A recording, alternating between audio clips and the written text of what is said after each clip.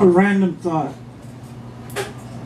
The nameless roll by with dirty faces looking for money to fold and have replaced their headstones with excuse me with serial numbers while their comrades in arms sleep the sleep of the forgotten in subway cars.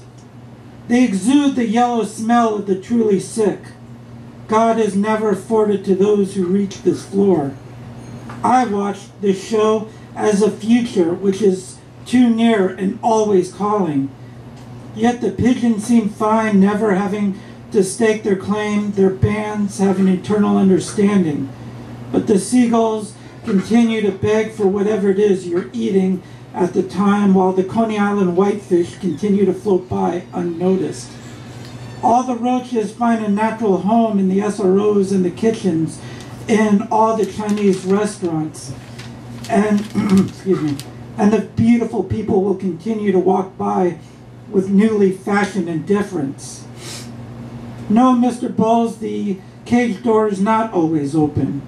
It's always closed and locked to those who are not afforded the right key.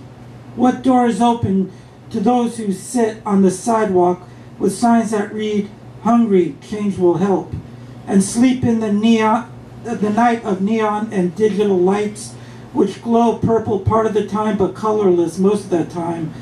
But the pigeons will remain all right. Thank you.